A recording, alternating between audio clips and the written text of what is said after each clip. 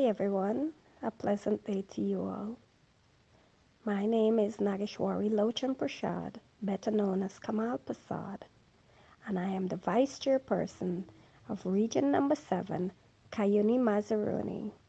Today, as the world joins with us in celebrating International Women's Day, it gives me privilege to be able to speak with you on gender equality and as we recognize this year as breaking the bias. For me, becoming a leader in my township was not as challenging as it might be for many others because the support and the example set out by the women before me made paved the way and I must thank those women that has gone before breaking the barriers, breaking the bias, and especially using their voices to speak out against inequality and to finding a place at the head table where decisions are being made. It is quite a privilege for me to be a part of the great table where we sit to make decisions that would impact the lives of every single one. As a woman, it took a lot to be able to fight for gender equality, for breaking the bias, especially in a male dominated field of politics. Speaking out has been one of my greatest strengths.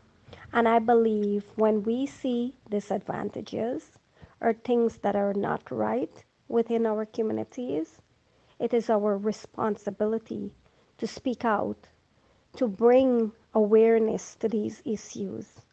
As mothers and sisters and daughters, we must continue to use our voices against the inequality, simply which begins from the home where women in many cases, are being treated unfairly.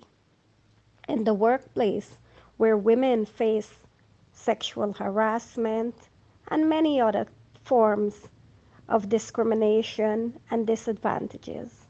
So, today, as the world celebrates this International Women's Day, let us not forget the women in our public service, the women that are single mothers, our teachers, our nurses, our doctors, our police officers, who are all working towards breaking the bias and having gender equality globally within the workplace, within our communities.